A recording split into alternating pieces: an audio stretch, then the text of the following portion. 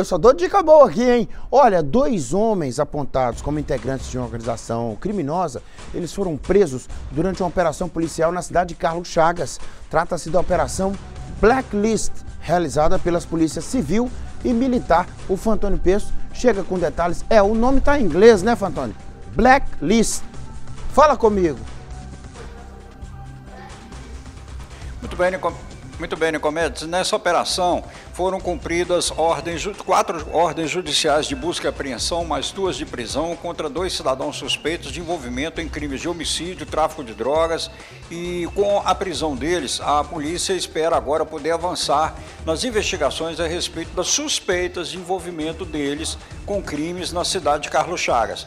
Mas, Nicomedes, essa operação blacklist, ela não termina simplesmente com esse ato não. Ela terá, ela terá outros desdobramentos, porque essa blacklist tem gente, viu, Nicomedes?